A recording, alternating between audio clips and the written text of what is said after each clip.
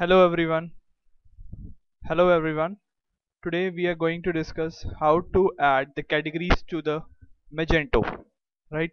So as you are seeing over here, this uh, basically the clothing is a category and the health product is a, also a category. Now we are going to add a new category. First, what we have to do is go to admin panel. I think you are aware of the admin panel. So this is our admin panel then put your mouse over on catalog section then click on manage categories.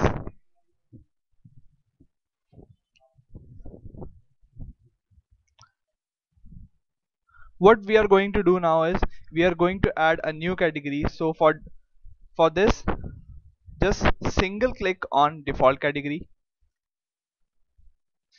Yeah. Then click on the add subcategory button. We are going to add a subcategory under default category. Now I am going to name this category as footwear.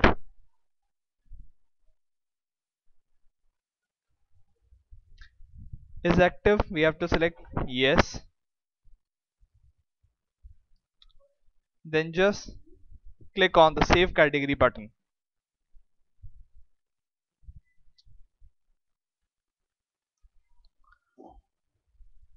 now come to the front page.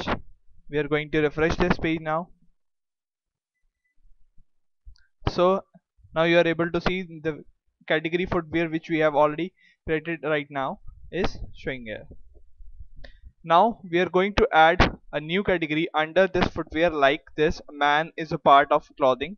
We are going to add some uh, other categories under footwear section. So then again come to default press single click on default category add and on again single click on footwear section. Yeah add subcategory. We are going to rename we are going to name this as sandals.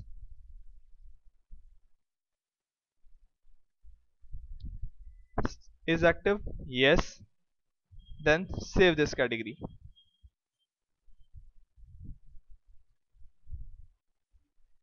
now come to the front page. Refresh this. So here is the sandals category. Now sandals category is a part of footwear category. So thank you very much. Have, have a nice day